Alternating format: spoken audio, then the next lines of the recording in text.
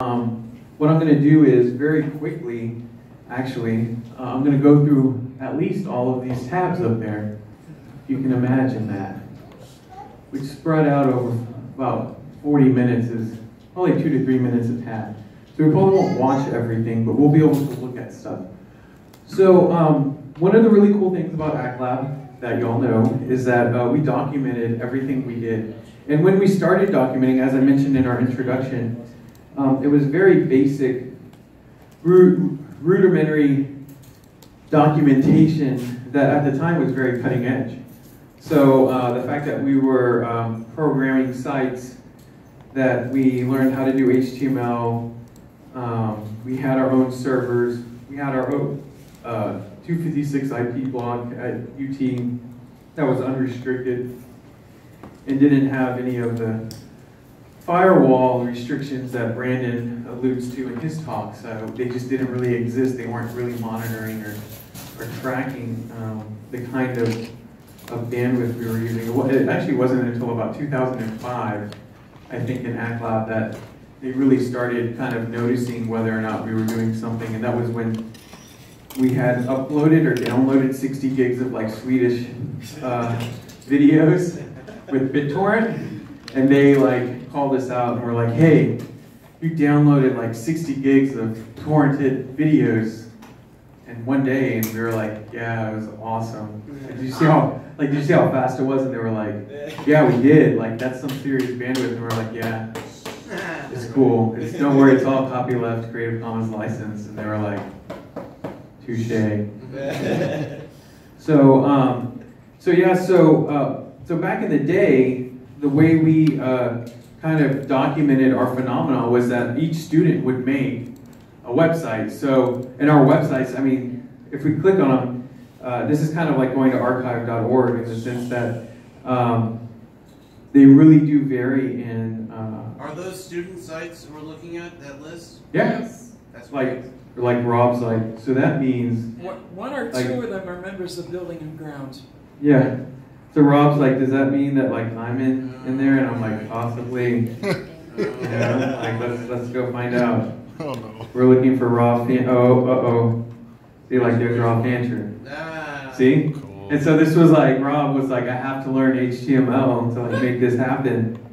And this is what would happen was we would post up your. Uh, oh, don't worry. I know how to fix this. This is just. That's just a link. Not all yeah. links going to well, um, so what I was going to say about that, let me get back. You can uh, fix it. Yeah, yeah, I can just, I can just come over here and I just go like this. Cause I'm old school. I'm old school. I'm not, I'm, I'm not, I'm not fretting, guys. Don't worry. Like y'all are. I know y'all aren't fretting either, but we just sit here and we like push buttons like that. Yeah. So because you know, and, and where did I learn this? The ACTLab, you know. I learned like that. I even learned how to copy and paste. So um, knows how to make an automatic redirect. Please see me afterwards. yeah, exactly. So um, yeah, we need to get like a bunch of auto redirect going. Jeremy.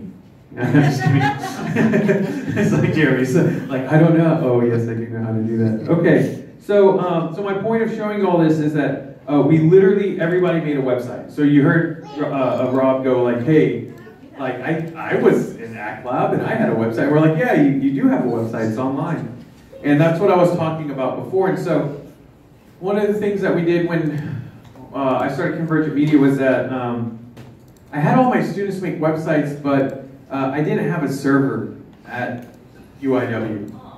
And uh, that really sucked because it meant that like students would go on and create would create all these uh, websites, but I wouldn't really have an ultimate way to make sure that they stayed up forever like Sandy did. And, uh, and so what we did was we created uh, a group called the Convergent Media Collective. And um, the Convergent Media Collective is uh, a website that I host on my own hosting for like $10 a month. And um, it literally just hosts articles. It uses WordPress because WordPress was really big then. And, and, surprisingly enough, a lot of people might be like shrugging, like, oh, WordPress. But somehow Brandon and I worked with like the WordPress developers when we were going to uh, UT. And uh, when I did my dissertation, um, we it was Andy Skelton, right? What's his name? I think that's what it was. He would come and, and co-work with us in, in Sandy's office, and he was like, "Yes, I'm one of the five developers for WordPress," and um, I would show him what I was working on, and he would like give us feedback. So we were really proud to use WordPress, surprisingly, compared to most people that were just like, "I have to use WordPress because that's what everybody uses." Um, so we didn't sell out; we bought in, you know.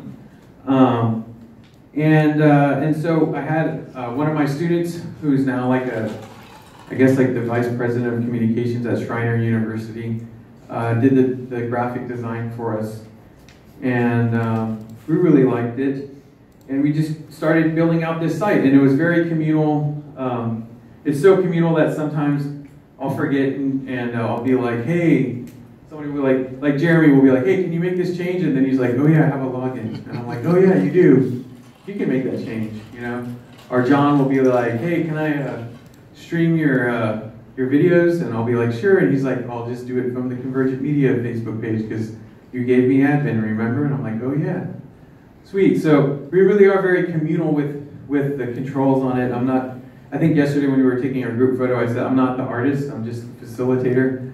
So it's one of those things where um, when we started documenting our work, we really kind of uh, are trying to just highlight each other's efforts rather than kind of highlighting, uh, being about highlighting your efforts.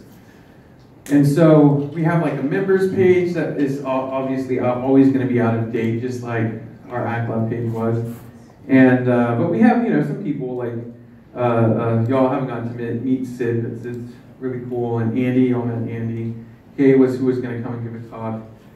Um, and then just many other people, like this really handsome fellow named John Frazee, and uh, Jonathan, who's going to be coming later, myself, Chris Peter, this guy Gary Schwartz, a whole slew of people that have been uh, contributing over the years have either come in or come out of our our, uh, our collective, and uh, and we actually have more as well. So uh, in this website, uh, we actually created an archives uh, link. And the archives link just has uh, an archive of all of our articles. And so what I'm going to do is uh, I want to show you all just a couple of projects and things that we've documented and done throughout the years to give you an idea uh, of kind of where we took a lot of what we learned in the ACT Lab and uh, uh, did a twist on it. So, um, and this is not in chronological order, just so you know. I know y'all were hoping for it to be, but it's just not. So uh, the first project I want to show real quick is that um, there's this thing called Contemporary Art Month uh, here in San Antonio. It's probably actually a national thing, I assume.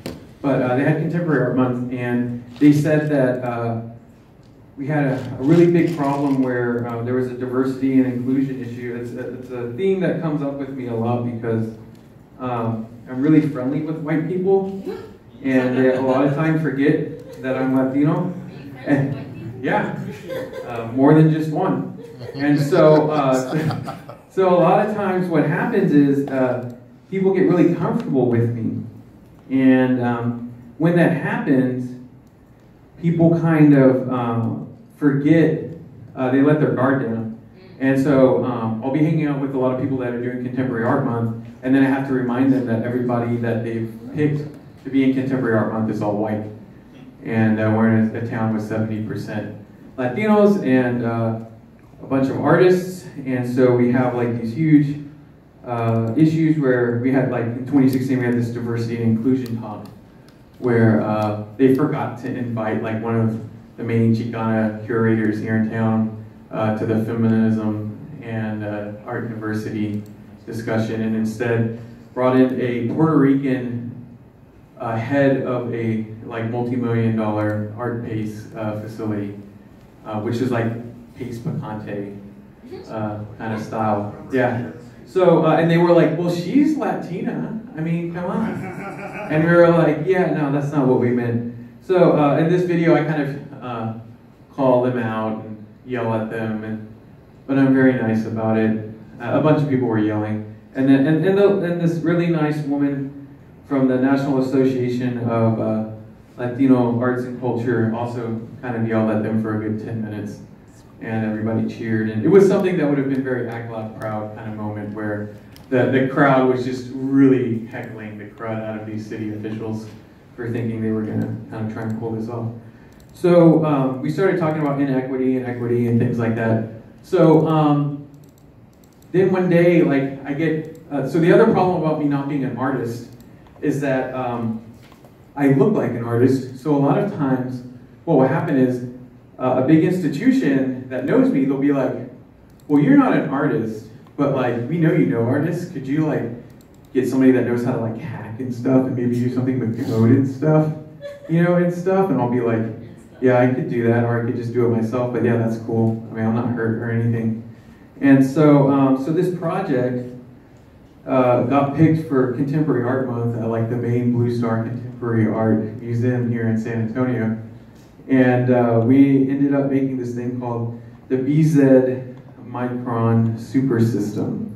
And what it is is a, uh, a computer that we made up.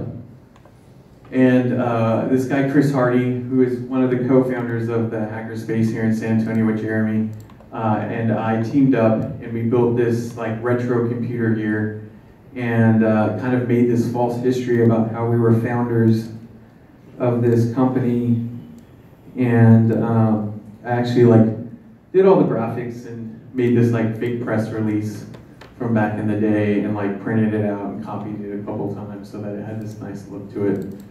It just seems totally wasted on this on this projector, but it felt good at the time. And uh, and we talk about how we how you know we were at Comdex '83 and and our computer was supposed to take over the world, but unfortunately it, it never actually worked. And so we ended up failing and, and, and burning misery, miserably uh, uh, uh, as we, we ventured into this space. So, um, oh man. And the computer did stuff. It was there exhibited. Right. So so then uh, our re- our revi- our revised computer um, actually uh, what what we actually brought. They were like, well, we really want something that's interactive for the, the community. And we were like, okay. So what we built was we built a password encoding computer. So you would go in and you would type your password in, and then it was going to like encode it for you and encrypt it. And instead, it just read your password out loud to everybody. and uh, and so and and then it had like random comments it would make. So what I decided to do was make a video that uh, kind of highlighted how great our system was, and it was like the demo video Oh my gosh. from back in the day.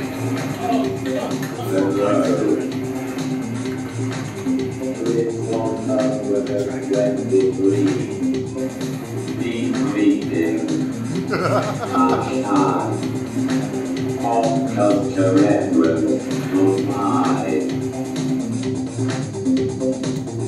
so um, it was actually a really uh, uh, big hit. It worked flawlessly for the whole like three month installation, and uh, they couldn't get it back to us fast enough. It was funny. so we took like a good month trying to get it back from them. Uh, so that's that's one random project. Um, another project we did was uh, so I, uh, one of the cool things about ACTLab is that we don't really encourage group work, and we don't like group work because group work usually uh, means that somebody's going to end up doing all the work, and somebody else is going to like pay them to do all the work, or just be lazy and not help out, or something like that. And because in academia, there's just not enough at stake. Like, if there was money at stake, that would maybe motivate people a little bit, but like, ultimately in academia, there's just people that don't care. So if, if, if, if I'm like the cheerleader guys, like it doesn't matter that I'm like, but this is gonna be so awesome, and people would just be like, yeah, but I gotta go. Know? and, and so, um, so my students for this one showcase uh, were like, no, like we don't have to go, Joey. We want to do stuff. We want to make things. And I was like, okay, well, you're all going to do your own projects, but what we will do is we will come up with a common objective with your projects, and that uh, we're going to be we're going to build this really huge screen, and then y'all are going to uh, show your work on it. And so what we ended up doing was uh, literally building a really big screen And uh, hopefully the internet will, there we go, it'll let us see. So we, we, we like went to Home Depot and prototype, and there was this uh, fellow named Jeremy Zunger who uh, helped us come up with our designs, and, and we worked with the students over probably, what, three weeks? Uh, on the design, and uh, and we ended up like going to my at the time I lived in an apartment that had in a garage, and we went to the apartment and I bought all the materials, and uh, all my students learned how to like work with work with the tools, Power tools. our tool, and it was funny because they were like I've never used Anything like it. yeah, anything like it. And we ended up building this 36 foot by 8 foot screen that used three projectors and used what we call a matrox triple head to like tie them all together. And so it was like, you know, it, it would take up a big portion of this room if we had it in here. And uh, we, we ended up using it more than once. Um, but it was really cool. And uh, we ended up having some, some students make some really good projects. And of course, in Act Lab fashion, we had lots of pizza. If this photo comes up, yes. I mean, we just we we always and uh, but in San Antonio, one of the things that's different, I think, uh, and this needs to be noted, uh, that's different between ACTLab and Convergent Media is that, um, or I should say, until I came to ACTLab, because we did have this at my ACTLab pre- uh, dissertation defense, is the sweet bread. You know, we have a lot of Mexican pan dulce, and that, uh, you know, is just a different kind of cultural experience. So if you'll notice over here, we have like a lot of molletes and little sugar cookies and things like that. It, it kind of adds a little bit of a different kind of feel um, to the presentations. So, um, so yeah, it was it was really interesting that night. We also had some people doing some Kinect work, which was always fun. We uh, and then we would always bring out um, like stuff for the audience because, like they say, they want people in the audience to touch stuff. So we'd always bring out like the makey makey and let people touch bananas because they seem to like the bananas. So um, another project that I ran into was uh, with this guy named Wei Han. And uh, I met him actually through Angelica here at the Institute of Texan Cultures, and he was telling me about uh, this book he had made about Chinese calligraphy and how it covered 12,000 years of calligraphy, and I was just like, that's like a really long time, man. I mean, almost as long as the U.S. has been around. And, uh, and so um, he was like, well, I'm really looking for artists again to maybe do some kind of interpretive work with some of the calligraphy. And so um, I just thought it was, I mean, it just was mind-boggling to me that it was like, this was, you know, since 3,500 years ago, since like 3,200, and it's like, all of them are for horse, but there were all these different kinds of uh, calligraphy. And uh, me being me, uh, I was just like, well, I just want to work with these things visually and kind of see where we can get. And Jeremy was like, dude, we should just laser cut some stuff out and see what happens. So I went ahead and just got some uh, like black cardstock, like heavy cardstock, and just laser cut it, and then just got some like uh, trans translucent paper, like tissue paper, and put it behind, and just used like a little LED white box. It looks something like like this. You see what I'm saying? Like just literally LED, some paper, and then our laser cut. And uh, and then Jeremy, collect, you know, Jeremy and I collectively decided that um, we should try doing some bokeh filters. Is that what they're called? Yeah. Yeah, some bokeh filters. And so we laser cut this uh, this symbol for horse out, and uh, and then we, there was a like a is it 64? I think it was an eight by eight by eight. Oh, okay, an eight by eight by eight LED. uh, uh, LED array cube. And so we went ahead and just kind of took that and uh, worked with some of the bokeh that, that we were able to create. And uh, just kind of experimented with this for a while. We maybe experimented like a week, over like three days of actual doing the testing. But uh, but he really enjoyed like our results. I really hope someday we can kind of meet back up with that guy and work on it. But that's what that's what the uh, the bo- the bokeh ended up looking like was this really nice kind of uh, interesting effect. And when we were talking about the uh, uh, eclipse when you're uh, Rich. You were mentioning how you got like these really nice shadows. I was it was making me think of this project. Yeah, I can see her. It doesn't look like a horse though. No, it doesn't. Yeah, well, I mean that's the horse is is, is the calligraphy. You know, it's, it's It looks like an alien justice. where I, that's I Like agree with you. Aliens. You know, I mean, I, I this you know, hey, it's, it's, it was it was an art. So um, so another kind of thing that happened was somehow uh, the new media professor at UTSA didn't get tenure, and um, she ended up moving to Ann Arbor and became the director of the Ann Arbor Film Festival. And so the next year she asked me if I would apply to give us a talk at the Ann Arbor Film Festival, and I said, sure. So I went to the Ann Arbor Film Festival, and much like I accidentally do a lot of times, is that uh, a lot of white people get very comfortable with me and start talking about diversity and inclusion. And because I am like Latino, but I don't say like queso and guacamole correctly, and so they feel very, very, very comfortable.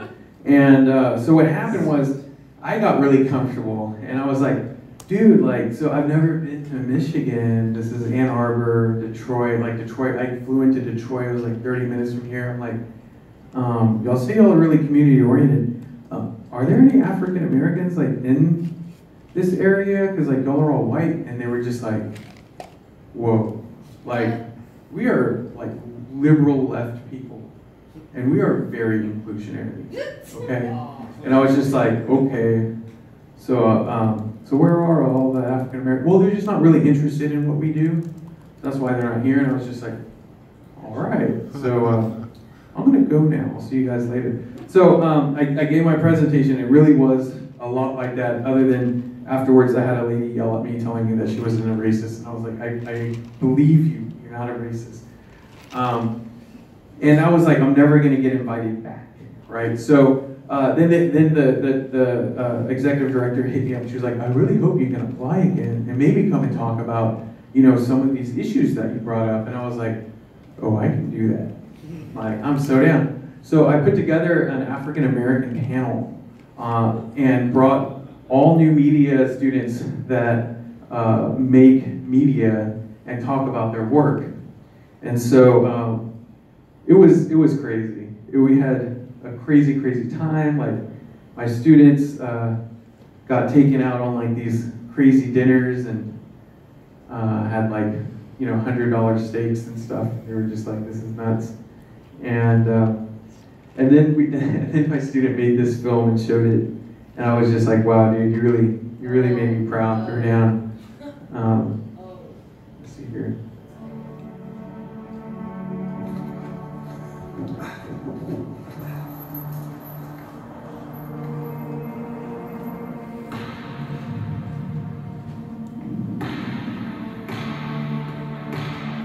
still hang. Like the fruits of labor once labeled free for freedom, nothing's changed. Only the change exchanged for services. Nooses loosened, replaced by gold rope.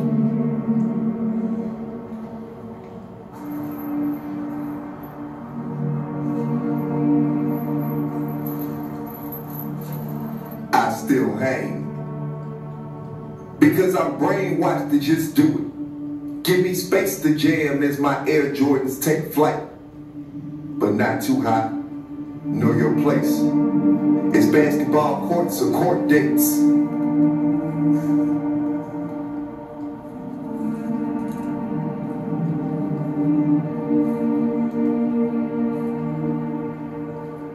I still hang. Like lynchings celebrated in the same fashion as March Madness. Ladders to cut the rope, but leave the fruit ripe for picking.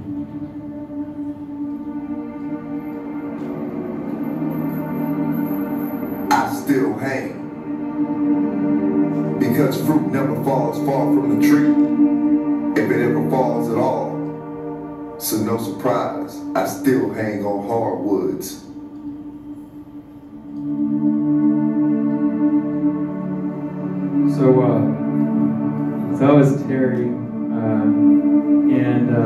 Obviously the, the the project definitely got some good reaction. People were very quiet when, when it was over with. It was, and I mean, I didn't tell them to make that. Like we, you know, Sandy and I, we always tell people, yeah, be creative, do something crazy. They're like, oh yeah, we'll do that. And we're like, dude, you're not gonna do anything crazy. We're just gonna do whatever they want to do.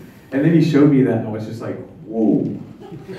okay, like you got the point. You got it. You got you, you got it. You know. And uh, and it was funny because I had talked to him about aesthetic, and uh, I had been telling him about like all these abstract techniques you could use, and so he actually incorporated the technique I told him to, uh, or not told him to, but just like had talked to him about, which was uh, uh, um, recording with the DSLR and then taking it to VHS and bringing it back so that it kind of has this like unidentifiable look to it, uh, which is why the video, like you're watching it, you're just kind of like, I can't contextualize what I'm looking at in terms of medium and aesthetic, uh, cinema, uh, cinemagraphically and technologically, and, and that, I thought that was a really cool thing that he did as well.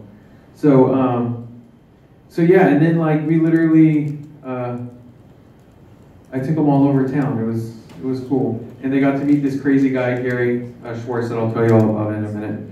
So then, um, even here at at at uh, at the ITC, we did a project where um, the students, and I'm going to play this in kind of lower. I'm going to walk you through the new exhibit at the Institute of Texan Cultures. It's called Converging Texan Cultures. And so when you first walk in, right here on the left-hand corner, you see a uh, pretty much a very immersive view of uh, which uh, displays a lot of Texan architecture. I'm going to talk over Johnny a little bit just because uh, I want to give just a little more contextualization than he is. So um, we literally had done some consulting for ITC and kept telling them we didn't want to get paid. And then finally they were like, well, how do you want to get paid? And we were like, we want to have an installation in your museum. And they were like, well, okay. And they were like, well, what's kind of size of space you want? We were like, we want the smallest space you have because we know we're not that good. You know, we're just like trying to, to work out some ideas. And so this is our Stonehenge installation piece. It was supposed to be like an eight foot by six foot table that we were doing a short throw projector on. It ended up being like a two by three foot table. Um, but it still kind of came out one to one. Um, we actually used Andy, who y'all met a couple of times this weekend. Uh, he has a loft and he has a ventless stove. And so we set up a Canon 6D over it. And um, we shot like a bunch of Texas meals that are prepared. And so people could see all these dishes being made and you could literally stand over it and check it out. And it was also during a time when um, I'd gotten the idea because I had met with Brandon. I guess you were working on that like 2010, 2011. He had built like this short throw projector table for the School of Information. And that's kind of like where I, I kind of gave him that idea. And then when I got really serious with Jeremy and working together, it was because of this project here where we used the Kinect and uh, worked on some like hand gesture uh, uh, uh, programming, and I had gotten the SDK for the Kinect, and I had figured out how to use it a little bit, but Jeremy was just like, dude, why don't we just like write our own thing? This is, this is so easy. I was just like, well, yeah, like, let's do it. And so, um, so we ended up, uh, Helika, again, just like how she helped us put this conference on, just completely facilitated the whole the whole experience. And, um, and so we had those three three pieces that we put in, and there were about probably eight students that uh, collectively worked on it. I believe they're in one of these photos somewhere. Yeah, there they are. And uh, I think almost all of them went on to get their masters, and all of them are, are super successful. And that's Kay, who we were talking about, the media producer. So um, the next project I want to show you all, I know I'm kind of going through this fast, but that's how I work, is uh, how we got to get to do our project. Was that, um, so the ITC uh, asked us, they were like, um, the Smithsonian has this Native American and skateboarding uh, piece they want us to show, but they want us to pay them $30,000 for this Smithsonian custom skateboarding simulator. And I was just like, yeah, why don't we just use Tony Hawk? And they were like, what are you talking about? I'm like, you know, Tony Hawk makes a, a skateboarding game. Like, it's really good. I just bought it uh, on clearance. It was 20 bucks. It came with the board. And they were like, well, what if the board breaks? And I just looked at them and I said, and I was about uh, 310 pounds at the time, not my weight, current weight. I just looked, I said, I play this game. We are good. Like I can, I can get on this thing and like go crazy on. it. I said, if you need to, buy four of them. You know, but that 20 bucks a piece, that's 80 dollars. Okay, and they were just like, all right, we get it. I was like, you just need one Xbox. So they do. They call up Tom, Tony Hawk, uh, representative, and they get permission and, they use it. But uh, this video here is the video of me convincing them that this is a really easy game to play. And so we got um, their curriculum and development uh, uh, lead to like actually try playing. And this is Ann Helika, who you know who's the executive director. And uh, and so I would just have students come with me to these meetings. So instead of me coming, I would be like, "Is it okay if I bring a student or two? And then I'd bring like six to eight students with me, and we'd show up. And this is kind of like how uh, the students would learn how to do consulting uh, in a very informal way with low stakes but high energy, meaning that we weren't, none of us were going to get paid. I wasn't getting paid. It wasn't like they were like, why should I help you? You're the one that's getting all the money. I was like, no, we're just all doing this for fun and, uh, and getting some experience. And so this is kind of how I would build up these relationships here in town. Uh, I'm not going to show that one right now. If I show it, I'll show it later. We'll put you over there.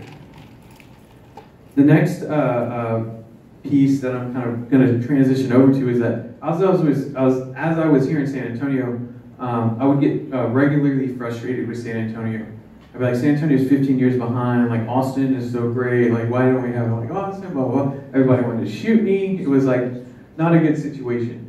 So uh, Jeremy would also hear me rant and rant and rant, and uh, and so we started talking about things.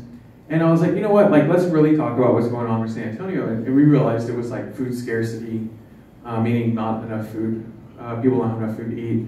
Uh, education issues, uh, teen pregnancy issues, real issues that were occurring. And we started looking at the data. And um, I was like, okay, now I know why. Like, we, we're having a lot of these issues, and it's at a high percent. You know, these issues are, are like a really high percentage. It's not just kind of a minority of the people. There's close to either a high, a high level of minority to majority of people are experiencing these phenomena. And so what we did was we uh, went and mapped it out, like we were talking about yesterday with um, with Stan and uh, Aaron made this this graphic, and uh, it's like our pizza slice theory is that like this is basically if San Antonio was a pizza, which all ACLABies understand pizza, is that like if you had a pizza, like this is what the pizza of San Antonio would look like, which unless you're lactose intolerant does not look like a great pizza, you know? And was okay, we understand the data, we understand what's going on, what can we do about it? And so we had kind of like two ideas. One idea was we can map. So we started mapping a little bit uh, cultural uh, art and technology resources. And so we literally developed like a back end on, on the WordPress. And we've like very slowly been adding uh, uh, cultural resources here in San Antonio that promote advocacy. So then, don't worry, this is the boring part, in case y'all are wondering. So then what we did was we started write, uh, uh, doing articles on community engagement. And then we just started doing community engagement. We started going into the community. And so uh, some of the articles that we would do uh, were, let me come over here. Like for example, one time I was invited to go with this uh, nonprofit called uh, Systemic. And what they do is they have this geek bus and they take kids and they put them on this bus and they get this experience during school and they have them do some kind of like little robotic thing. But what was actually culturally interesting to me was that uh, these students in Del Rio, Texas had a, uh, a club for their robotics club and our team and the club like energy was what was really interesting to me culturally. And so uh, I had them explain to me like their mascot, and I was just like, man, this is so cool. So here's the here's the explanation. Okay, so what's the story behind the emoji? I know you already told me, but why don't y'all tell me with the video? So speak up because I think real loud. One of the AR educators, uh, the freshman, he came up with the idea to do this. It was like, so we did it in tribute to him. And what is it? It's emoji box. Um, he was basically really eccentric and he did a lot of really like out of the box stuff. So he came up with emoji box. He came up with the whole outfit idea and he said, you don't have to do it, but it would be nice if you did. He, since he came up with so much of the brand, we just decided why not. They don't have t-shirts? Yeah. Usually we wear khakis and like black shoes, but we decided no, not to because we're casual today. And this is one of their friends.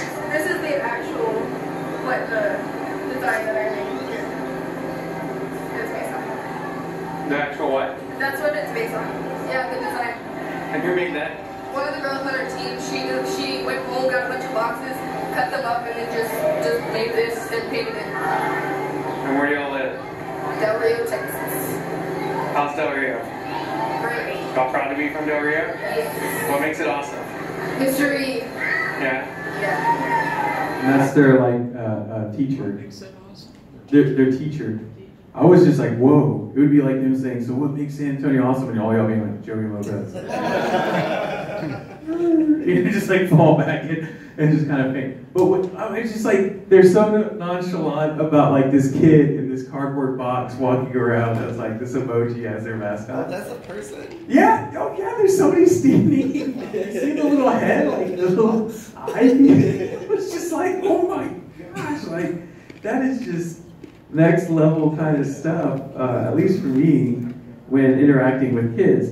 And so, um, you know, we, we would go to like maker fairs. Like John and I went and did this maker fair, and uh, this maker fair was totally weird.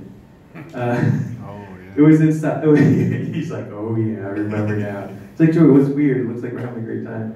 So we worked with these kids, and we did a bunch of stop motion animation, and because we had we had a pretty good setup for that. And uh, this was like this because this is a small town outside of San Antonio. They had a uh, a, a beauty queen like uh, pageantry group come through the Maker Fair, and uh, and somehow we ended up teaching them how to do stop motion animation.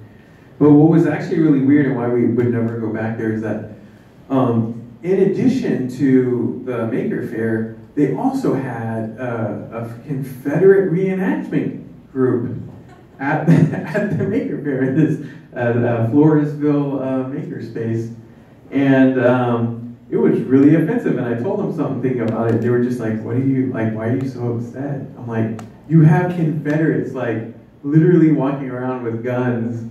like at a maker fair and they're just like i don't i don't know what you mean like what's weird about that and i was just like yeah we're never coming back to this just so you know so um, so these were the kinds of like things that we would get ourselves into and then the last uh, one of the last couple things i want to show you is um, this luminaria project so this luminaria project was done with this guy named gary schwartz He's an Academy Award uh, nominated animator. And um, what makes Gary kind of crazy is that he's crazy.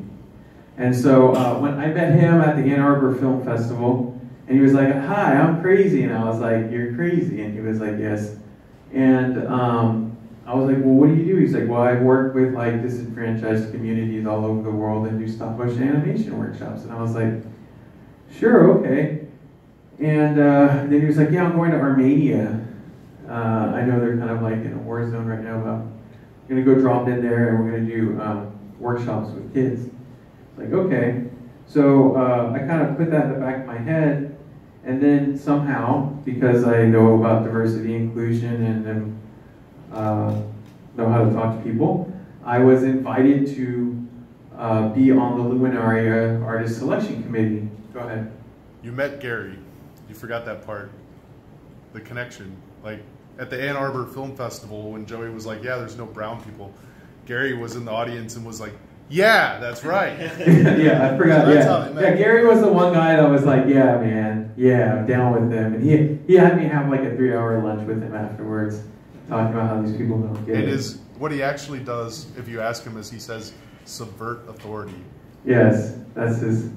That's his claim to fame.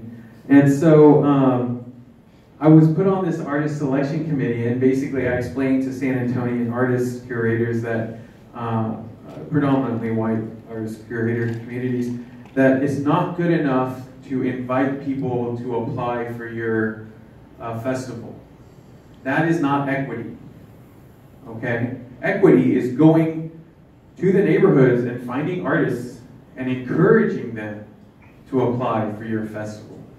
That's equity. And they were just like, well, how would we do that? Why would we like, that's just overwhelming. And I'm like, well, that's what I've been doing for the past year. So I already know everybody and I'm going to help you all do this. And so I literally just started putting them in contact with all of these different social groups on the east side, on the west side, on the south side, all the areas that Stan talked about that like have nobody in it. There are people there. That's why I was kind of questioning him about it. Um, and there are artists there, and there are people that are making great things. And so we would go into these spaces and meet people. And one of the people I met was this guy named Victor Zuniga, who worked at this apartment complex on the west side that was part of SAHA, the San Antonio Housing Authority. And uh, Jeremy and I would go and do all this programming. We taught kids how to fly kites, we taught them how to solder, we taught them how to do stop motion animation. And uh, when we were looking for a community-oriented project, I was like, well, why don't we bring Gary down and do this stop motion animation project with him? And then at the same time, uh, some of y'all met Jesse last night when, when Jeremy was presenting his uh, uh, the Z fader, and he said he worked at this lighting company, and this there's a legitimate like big ass lighting company here in town, and uh, Jerry was like, you know, y'all should have Luminaria talk to us. And so I set up a meeting and we went and talked to them and they were like, we would love to facilitate having some resources for y'all. And by resources, they meant like, you know, an LED panel as big as this curtain over here um, and things like that and multiple ones. And so uh, what we ended up doing was putting together literally Luminaria for the city without actually us being in charge of putting Luminaria on at all. And so this video that I'm going to show you here kind of shows you both um, the actual installation, which was based around this motto, I don't know where it came from, called Make Stuff. And uh, what I did was I had the kids, and I got this audio recorder, and I put it right here. I said, okay, kids, I want y'all to just walk in a, in a line around the table, because I knew they were going to be like, what? Because I know they're going to end up running and getting excited. And I just want you to say make stuff. And so they would run and they say make stuff.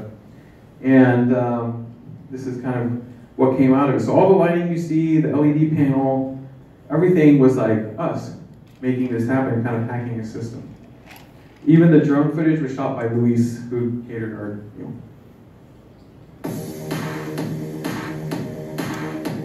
And the music.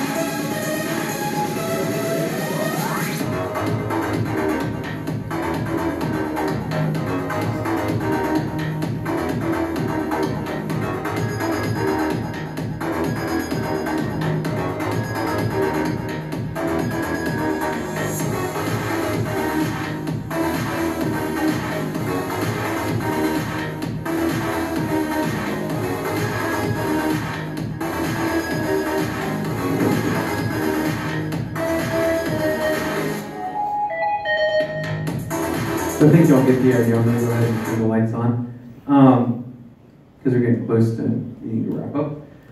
The, uh, so the crazy thing kind of about what we were doing and, uh, or at least in my opinion, that the crazy thing about what we were doing is that we kind of took uh, a lot of what we learned in the ACTLab and kind of said, well, how can we actually go out and start going into the community and kind of implementing and pollinating these concepts into spaces. And so we literally, for the past, I guess, we started doing this in 2012. So I guess for the past six years, all we've been doing is experimenting, and we're not saying we have anything consistently correct yet, but it's definitely something that's been interesting to go out and do. And, uh, and we've always tried to embody the ideas and concepts that we learned in that lab to do that. So, anyways, I hope y'all enjoyed checking out uh, some of the ways that um, we've kind of taken on uh, the convergent media, I mean the ACTLab uh, uh, essence and kind of transformed it here in, in San Antonio in the way in which our landscape is. So thank you all very much.